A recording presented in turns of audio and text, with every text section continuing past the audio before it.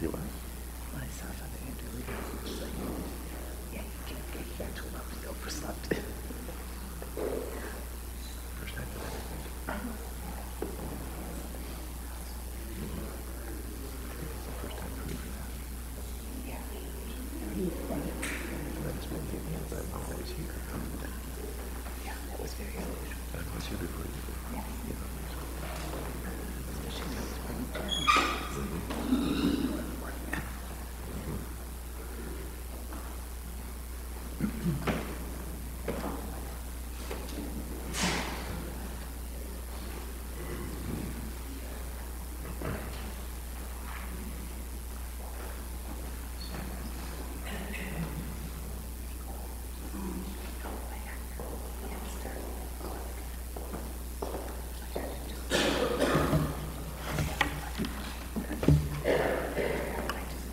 Good morning.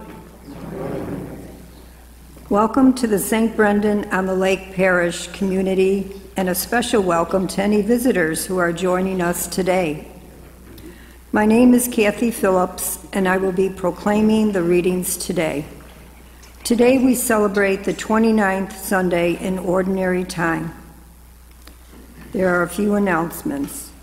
There will be Eucharistic adoration this Monday in Newfane from 4 to 7 p.m.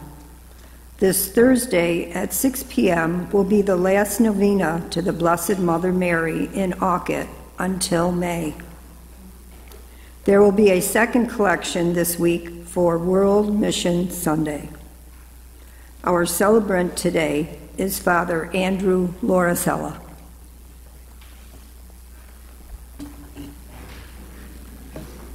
Our opening hymn this morning is number 578, Lord of All Hopefulness. Number 578, please rise and join in singing.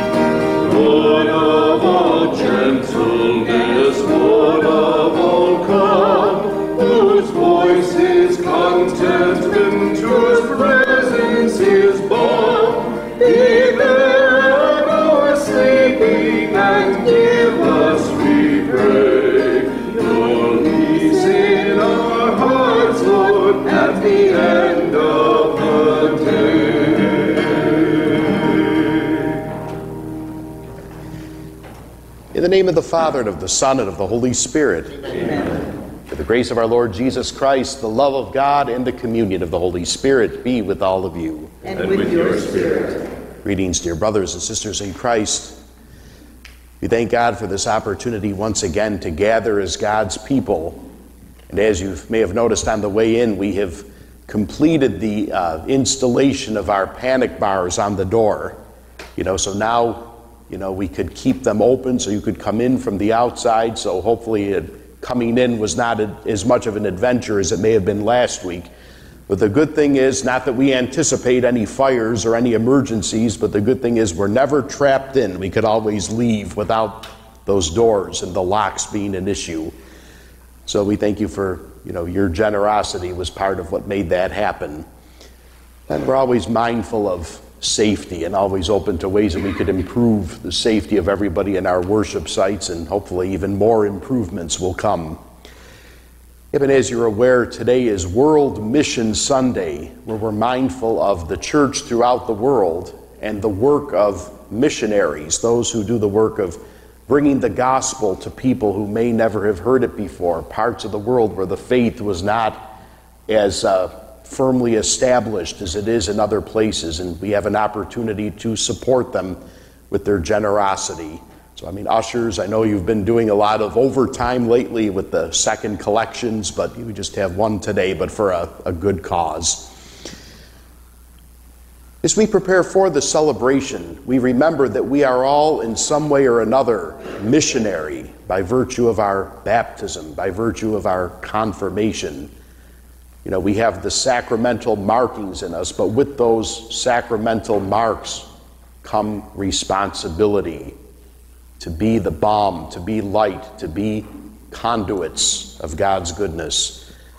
So, as we begin, we prepare by calling to mind our sins and times we have not been mindful of the role that has come with our sacramental life, the times that we have abused that, the times that we have pursued other things less deserving, and we ask for our God's mercy and forgiveness.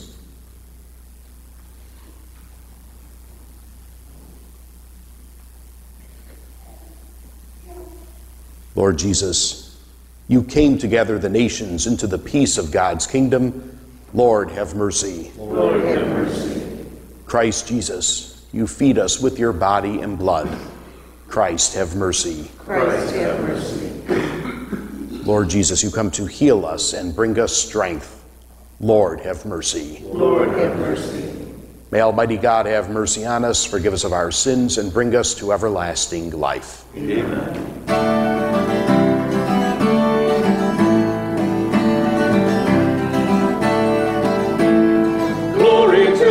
in the heart.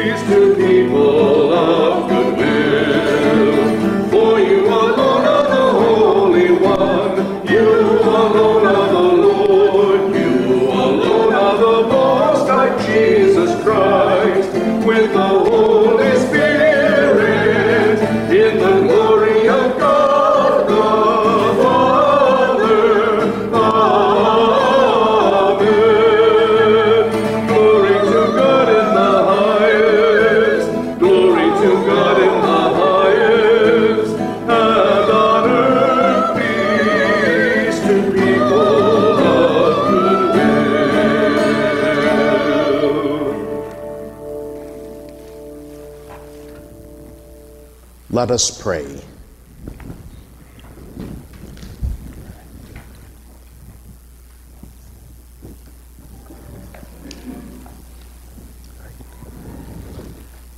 Almighty ever living God, grant that we may always conform our will to yours and serve your majesty in sincerity of heart through our Lord Jesus Christ, your Son, who lives and reigns with you in the unity of the Holy Spirit, God forever and ever. Amen.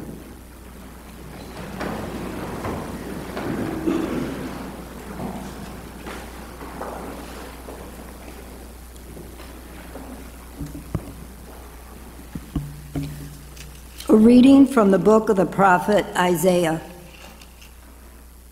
Thus says the Lord to his anointed Cyrus, whose right hand I grasp, subduing nations before him, and making kings run in his service, opening doors before him, and leaving the gates unbarred. For the sake of Jacob, my servant, of Israel, my chosen one, I have called you by your name giving you a title, though you knew me not. I am the Lord, and there is no other. There is no God besides me. It is I who arm you, though you know me not, so that toward the rising and the setting of the sun, people may know that there is none besides me. And I am the Lord, there is no other. The word of the Lord. Thanks be to God.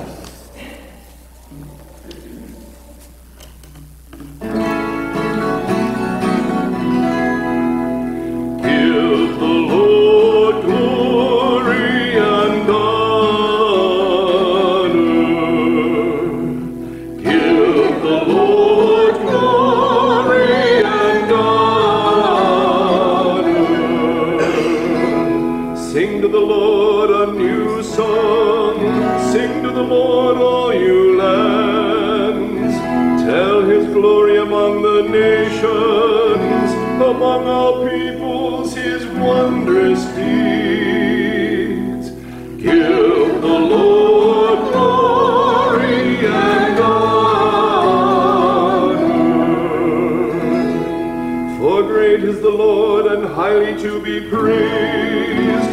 Awesome is he beyond all gods. For all the gods of the nations are things of naught, but the Lord made the heavens.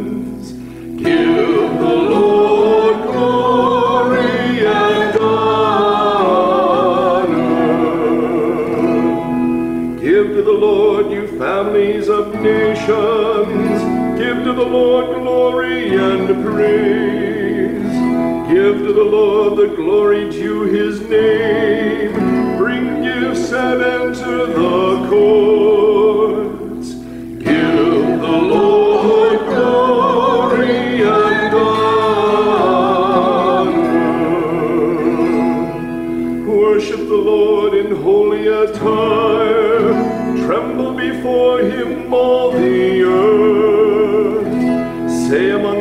Nations, the Lord is king.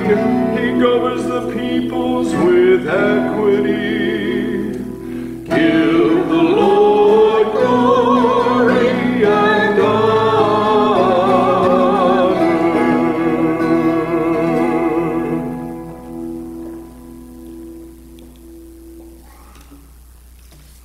A reading from the first letter of St. Paul to the Thessalonians. Paul, Silvanus, and Timothy to the church of the Thessalonians, in God the Father and the Lord Jesus Christ. Grace to you and peace. We give thanks to God always for all of you, remembering you in our prayers, unceasingly calling to mind your work of faith and labor of love, and endurance in hope of our Lord Jesus Christ, before our God and Father. Knowing, brothers and sisters, loved by God, how you were chosen. For our gospel did not come to you in word alone, but also in power and in the Holy Spirit and with much conviction. The word of the Lord. Thanks be to God.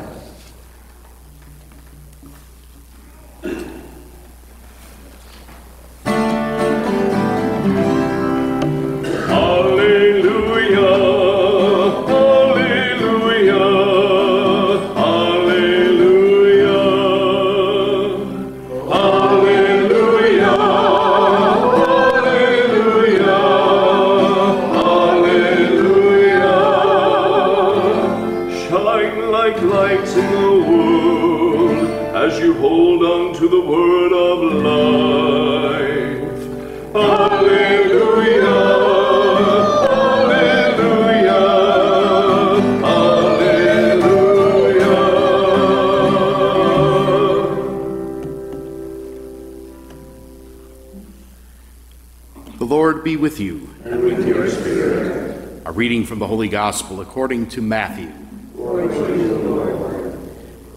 The Pharisees went off and plotted how they might entrap Jesus in speech. They sent their disciples to him with the Herodians, saying, Teacher, we know that you are a truthful man and that you teach the way of God in accordance with the truth, and you are not concerned with anyone's opinion, for you do not regard a person's status. Tell us then, what is your opinion? Is it lawful to pay the census tax to Caesar or not? Knowing their malice, Jesus said, Why are you testing me, you hypocrites? Show me the coin that pays the census tax. Then they handed him the Roman coin. He said to them, Whose image is this and whose inscription? They replied, Caesar's. At that he said to them, Then repay to Caesar what belongs to Caesar, and to God what belongs to God. The Gospel of the Lord. Praise to you, Lord Jesus Christ.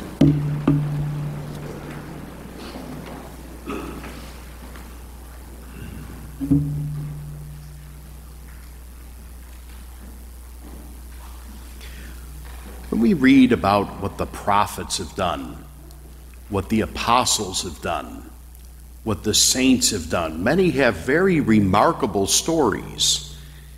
And sometimes what makes their stories remarkable is they did these amazing things often without having the resources or just the right conditions that we would expect one would require in order to do that.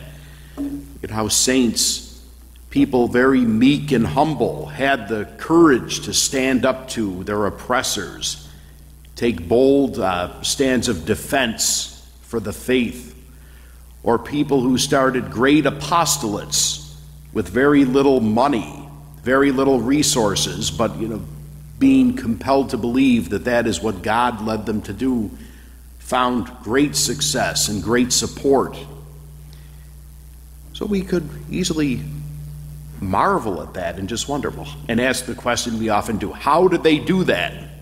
Just like when we see a magician do something that doesn't seem possible, that surprises our expectations. How did they do that? How did that happen?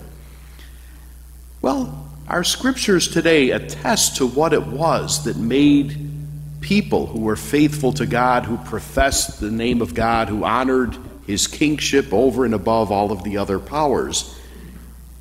It shows them how they had the power of God with them that brought them far beyond what their own limits were.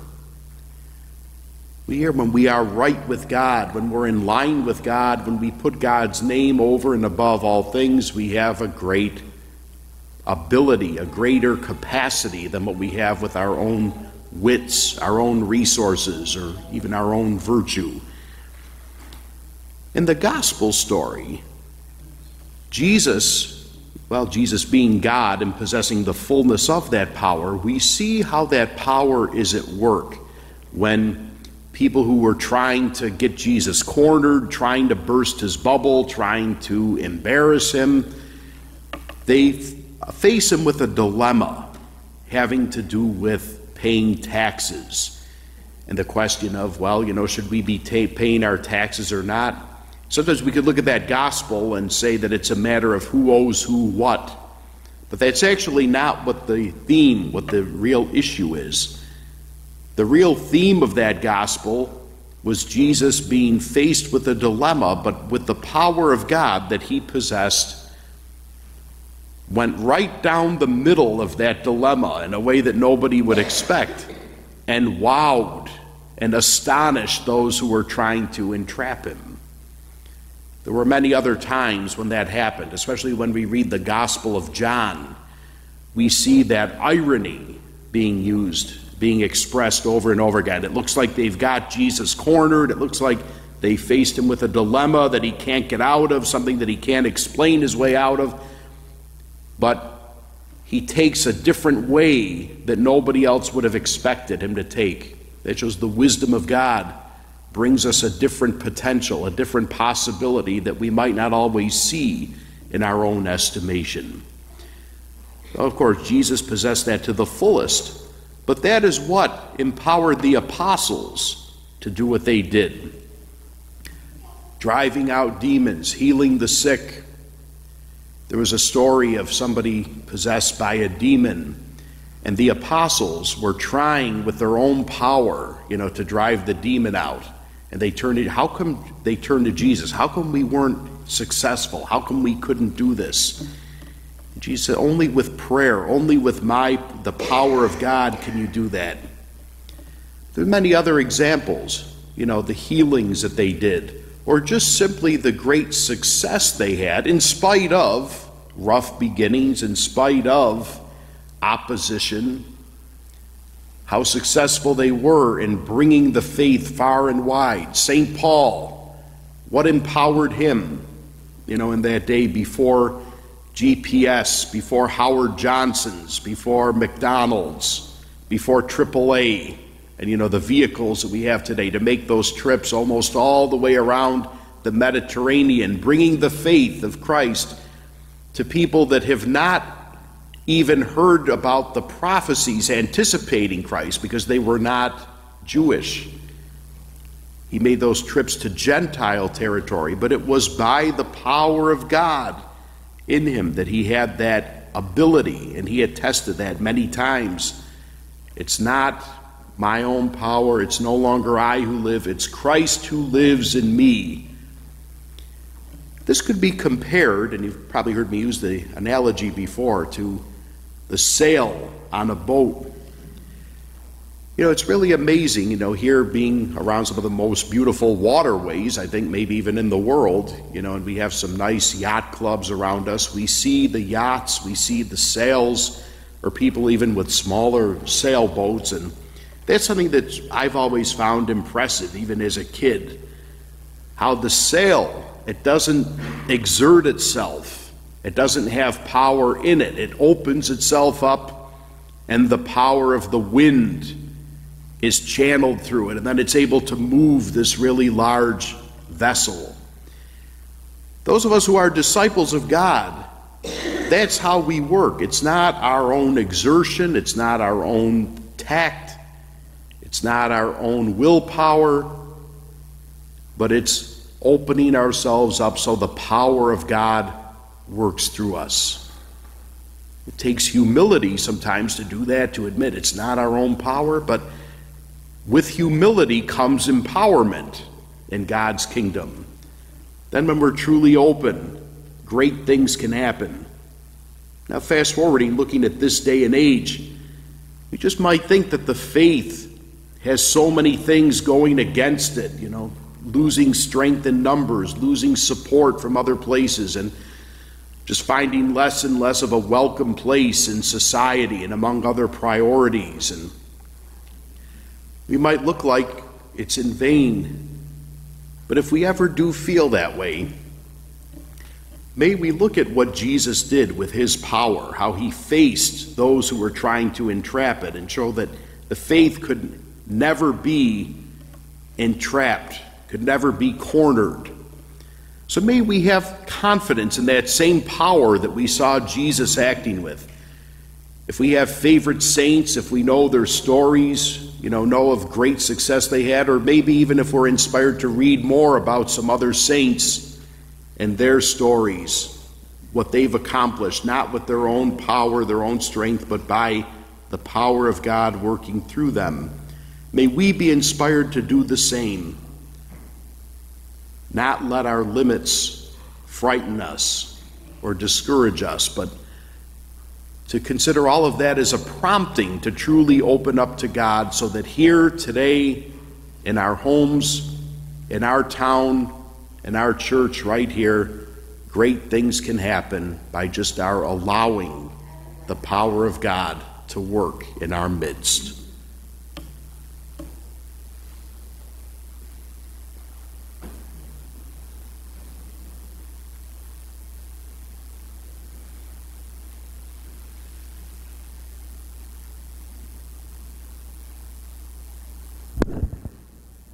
Together, now let us profess our faith. I believe in one God, the Father Almighty, maker of heaven and earth, all things visible and invisible. I believe in one Lord Jesus Christ, the only begotten Son of God, born of the Father before all ages, God from God, light from light, true God from true God, begotten, not made consubstantial with the Father. All things are made, and for our salvation, He came down from heaven. By the Holy Spirit, was incarnate of the Virgin Mary, and became man. Pontius Pilate, for death and was buried. He ascended and is seated at the right hand of the Father he will come again in glory to judge the living and the dead, and his kingdom will have no end. I believe in the Holy Spirit, Lord, the giver of life, who proceeds the Father and the Son. The Father and the Son is adored and glorified, and is spoken through the prophets. I believe in one holy, Catholic, and Apostolic Church. This one baptism for the forgiveness of sins. Forward to the resurrection of the dead life of the world to come. Amen. Knowing the great heavenly help that comes upon all of those who work to do the will of God, we now trustingly ask our God for what we need to continue persevering and doing what He asks of us.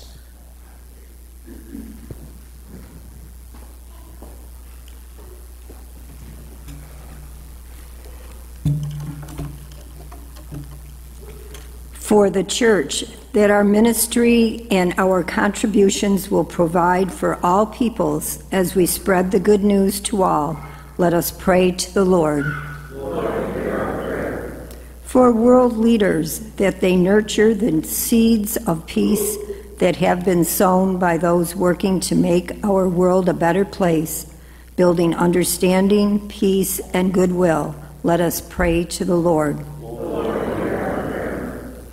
that the fall harvest may be bountiful, providing food in abundance, especially for the poor and hungry. Let us pray to the Lord. we pray for an increase in vocations to the priesthood, deaconate, and religious life, especially in the Diocese of Buffalo. Let us pray to the Lord. For those struggling with illnesses and recovering from surgeries, especially Janice Chuskowski, Cindy Chapman, Donnie Matalski, Jason Berry, Maureen Fraunappel, Arlene Jenkins, and those listed in the bulletin, that our Blessed Mother may comfort, console, and help them to find inner joy amid their challenges let us pray to the Lord.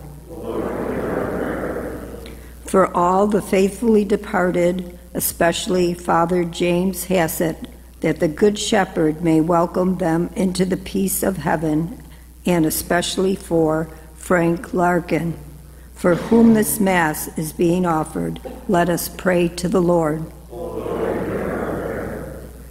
For all of us gathered here today, and for our prayers and intentions, that we bring before the Lord, let us pray to the Lord.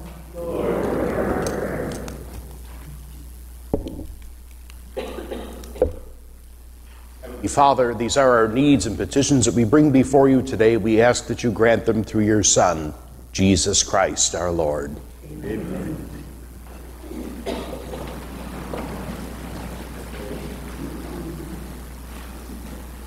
Please join in our hymn during the offertory, number 494, How Great Thou Art, number 494.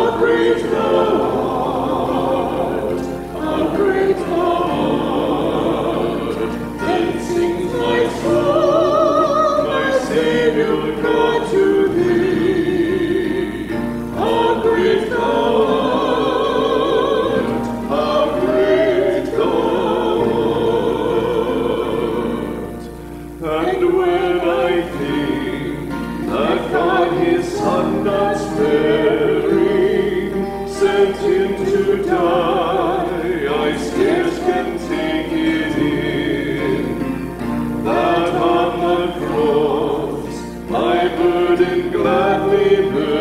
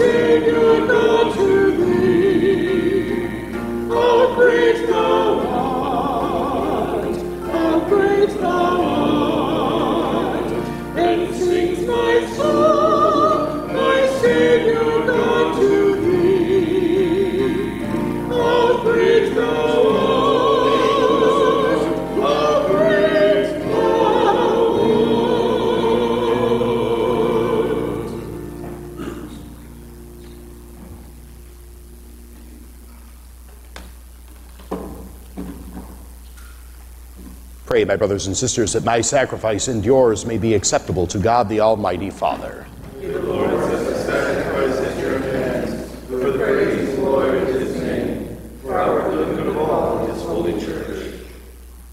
Grant us, Lord, we pray, a sincere respect for your gifts, that through the purifying action of your grace we may be cleansed by the very mysteries we serve through Christ our Lord.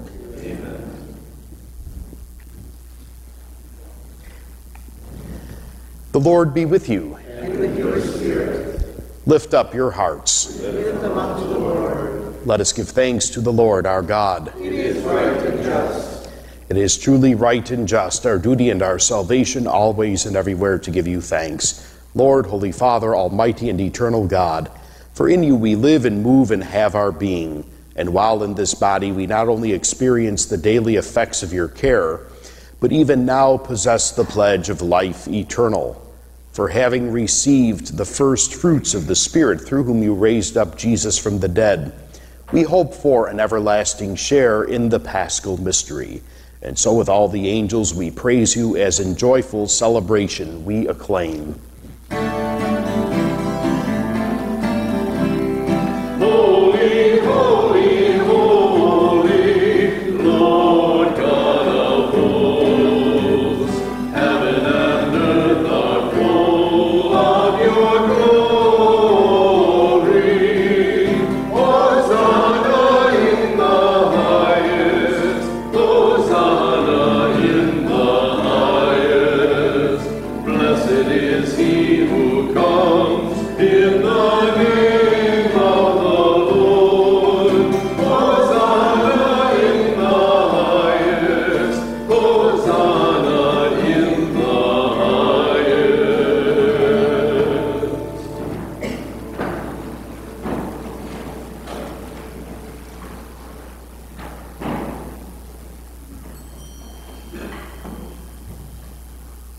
You are indeed holy, O Lord, and all you have created rightly gives you praise. For through your Son, our Lord Jesus Christ, by the power and working of the Holy Spirit, you give life to all things and make them holy, and you never cease to gather a people to yourself, so that from the rising of the sun to its setting, a pure sacrifice may be offered to your name.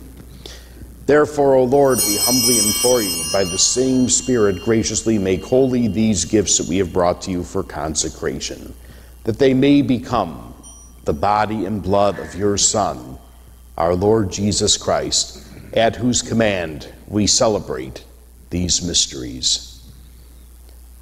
For on the night he was betrayed, he himself took bread, and giving you thanks, he said the blessing, broke the bread, and gave it to his disciples, saying, Take this, all of you, and eat of it, for this is my body, which will be given up for you.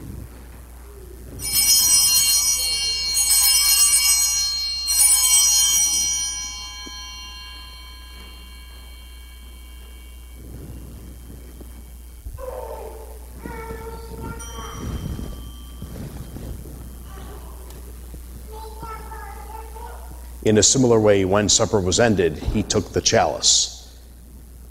And giving you thanks, he said the blessing and gave the chalice to his disciples, saying, Take this, all of you, and drink from it, for this is the chalice of my blood, the blood of the new and eternal covenant, which will be poured out for you and for many for the forgiveness of sins. Do this in memory of me.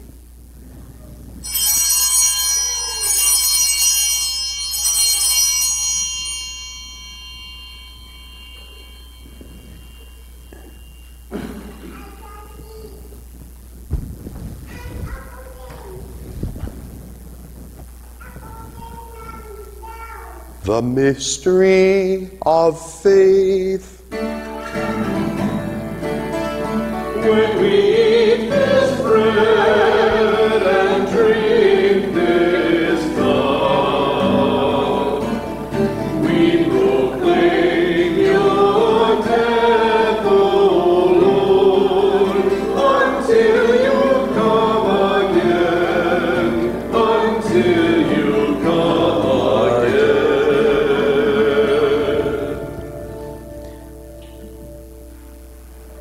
Therefore, O Lord, as we celebrate the memorial of the saving passion of your Son, his wondrous resurrection and ascension into heaven, and as we look forward to his second coming, we offer you in thanksgiving this holy and living sacrifice. Look, we pray, upon the oblation of your church, and recognizing the sacrificial victim by whose death you willed to reconcile us to yourself. Grant that we who are nourished by the body and blood of your Son, and filled with his Holy Spirit, may become one body, one spirit in Christ. May he make of us an eternal offering to you so that we may obtain an inheritance with your elect especially with the most blessed Virgin Mary, Mother of God, with blessed Joseph, her spouse, with your blessed apostles and glorious martyrs, and with all the saints on whose constant intercession in your presence we rely for unfailing help.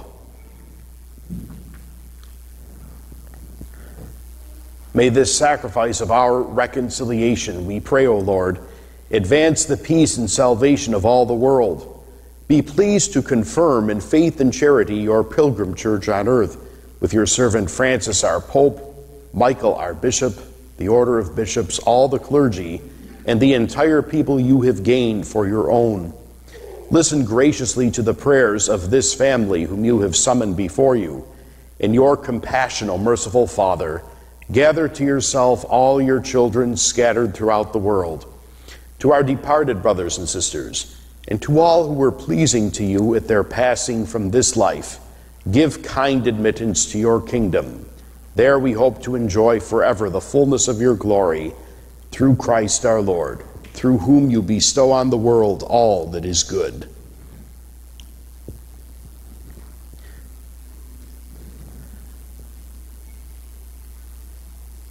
Through him and with him and in him, O God Almighty Father, in the unity of the Holy Spirit.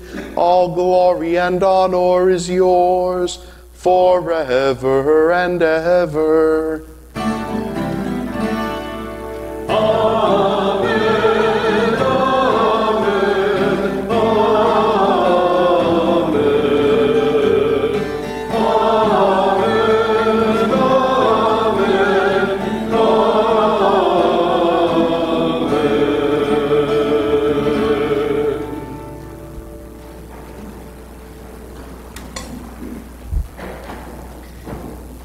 The Savior's command and formed by divine teaching, we dare to say, Our Father, who art in heaven, hallowed be thy name. Thy kingdom come, thy will be done, on earth as it is in heaven. Give us this day our daily bread, and forgive us our trespasses, as we forgive those who trespass against us. And lead us not into temptation, but deliver us from evil.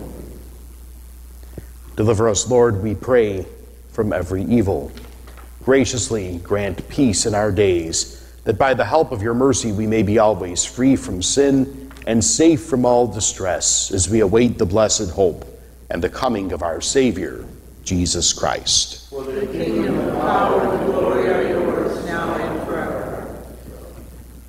Lord Jesus Christ, who said to your apostles, Peace I leave you, my peace I give you. Look not on our sins, but on the faith of your church, and graciously grant her peace and unity in accordance with your will, who live and reign forever and ever. Amen.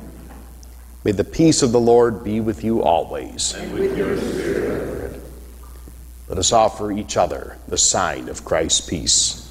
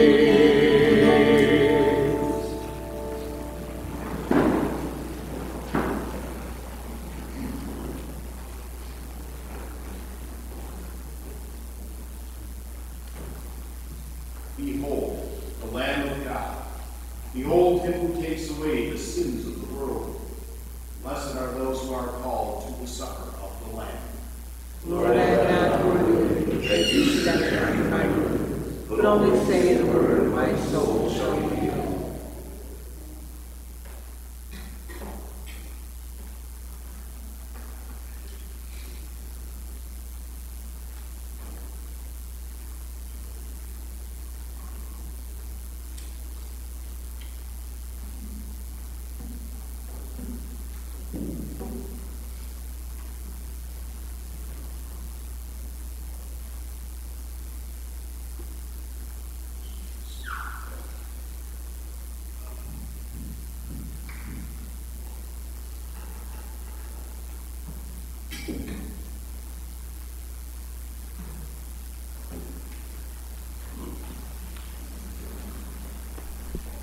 Please join in our hymn during the communion, number 821, Bread of Life, Hope of the World, number 821.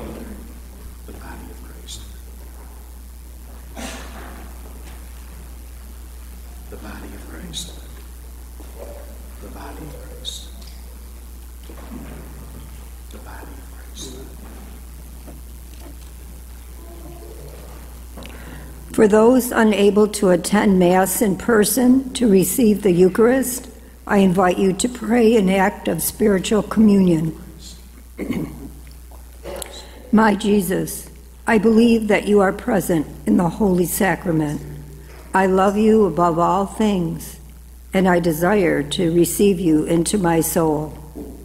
Since I cannot at this moment receive you sacramentally, come at least spiritually into my heart. I embrace you as if you were already there and unite myself wholly to you. Never permit me to be separated from you. Amen.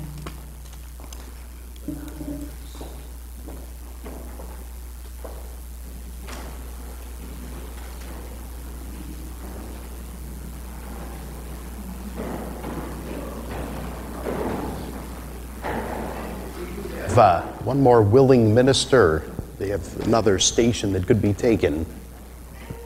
Yet the ciborium is on the altar.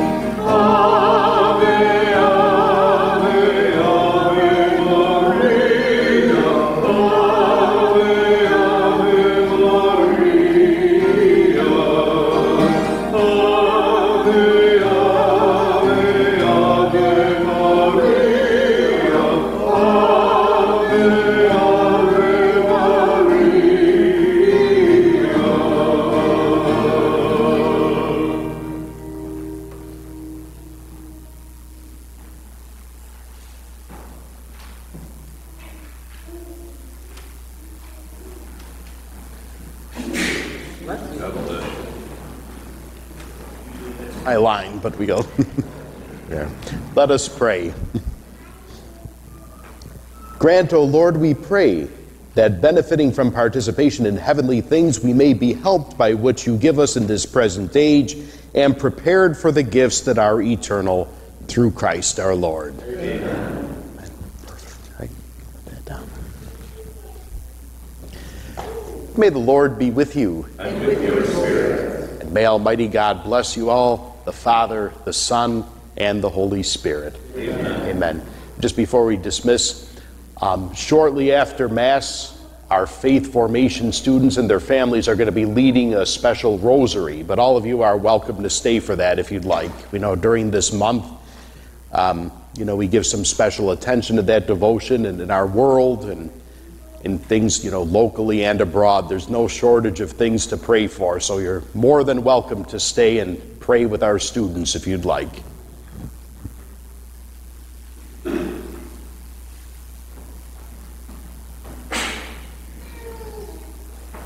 Our closing hymn this morning, number 522, Glory and Praise to Our God, number 522.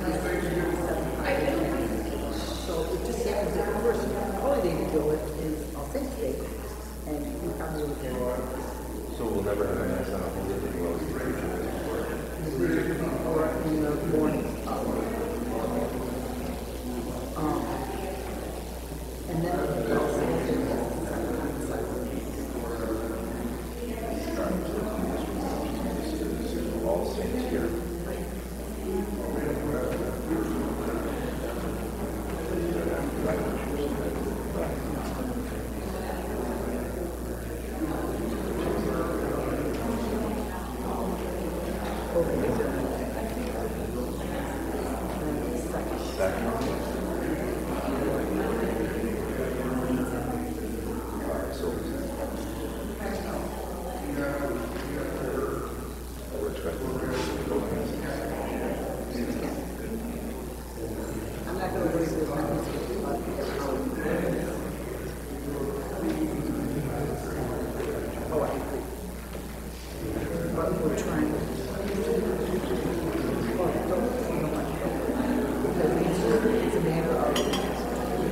other whole thing is, it's one. But to not be the one that we're trying to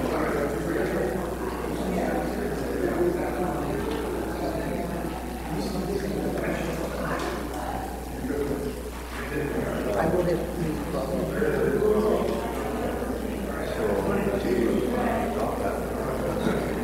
This is a bright pink, but